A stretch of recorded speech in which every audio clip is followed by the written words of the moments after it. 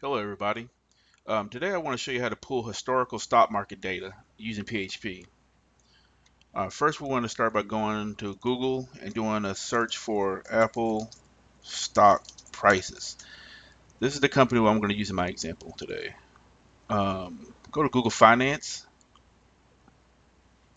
Um, on the left hand side you see a link that says historical prices. Click on that.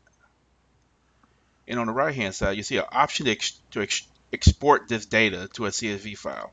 But what we're going to do, instead of clicking this link, we're just going to right click and copy the link address and carry this back to our IDE. All right, so now we're going to start coding this out. Uh, I'm going to create a URL variable to hold our URL address. And just like our previous, um, just like in our previous video, I'm going to use the file get content method. So data variable to hold the CSV data and file get content. All right. And I'm going to print this out to see how far we've come along. All right. So I'm running all this on my local server. So if I hit refresh, okay, I can see we are we are now actually pulling um, Apple's historical data. And as you can see, each closing day is separated by a line, by a new line, and delimited by commas. All right, so that tells me basically I need to explode this data by line first, by each line. So let's go back to the IDE and do that.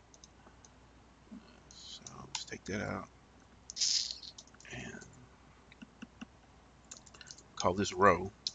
And we're going to explode that data. Explode by new line first.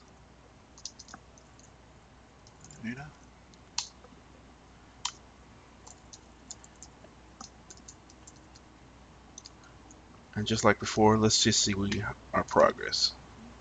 Hit refresh again.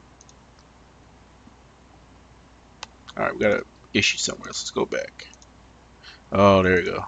Take this ass off. Now let's go. Let's see what we got. Boom.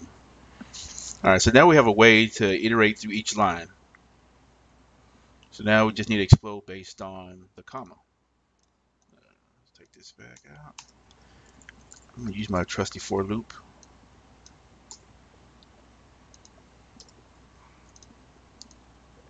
copy this row variable here.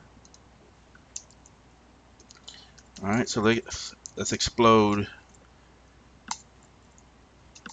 each row by comma.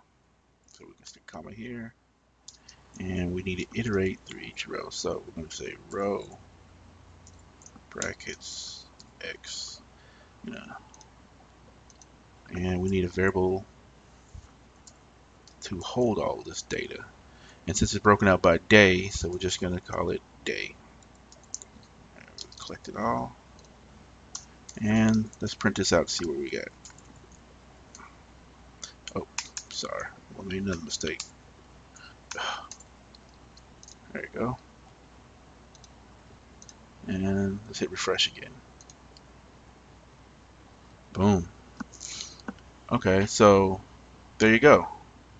That's Apple historical data for like the past year. Now, you can take it to a next step and log this, all this into a database, or you can even extract more information on from it. It's up to you.